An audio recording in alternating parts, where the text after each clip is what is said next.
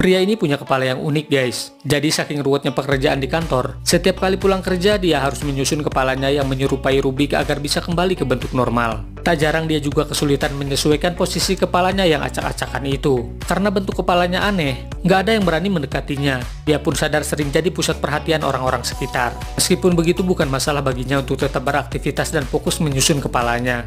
Ternyata mencari posisi yang pas itu melelahkan juga guys. Terkadang pria ini istirahat sejenak untuk bisa minum, walaupun posisi mulutnya terbalik dan ada di atas mata tuh. Setelah itu dia kembali melanjutkan dengan memutar dan membolak-balik kepalanya sampai ketemu posisi yang sesuai. Hingga akhirnya dia pun berhasil mengembalikan bentuk wajahnya kembali normal lagi.